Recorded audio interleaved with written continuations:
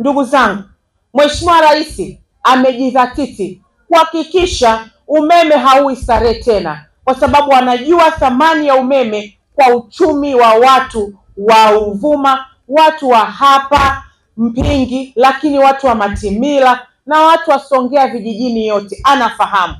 Hapa kuna vitongoji sita, viwili vina umeme, lakini nataka niwahakikishie vitongoji vyote vitapatiwa umeme.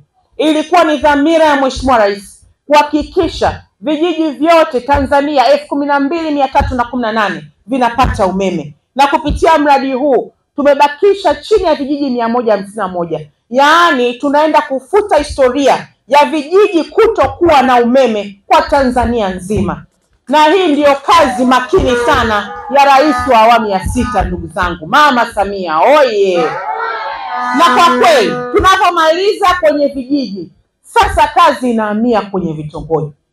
Tuna mradi wa kupeleka umeme kwenye vitongoji elfu kumi kwa tutahakikisha na vile vyenyewe vinaingia kwenye mpango ili vitongoji vyote katika kijiji hiki viweze kupata umeme. Kwa hiyo niwahakikishie, tutahakikisha mnapata huduma hii na mnaendelea kupata huduma hii kwa ajili ya kuboresha shughuli zenu za kiuchumi, lakini kuwahakikishia Wizara ya Nishati tunaendelea kutekeleza miradi yote kwa ufanisi mkubwa kuhakikisha nyinyi ndugu zetu mnaendelea kunufaika na masuala yote ya umeme. Tunao mradi hapa unaanza na mkandarasi tayari ameshafika, mradi wa kupeleka umeme kwenye vitongoji, yaani ujazilizi, na kwa jimbo la Peramiho tunaanza na vitongoji thelathini na tano.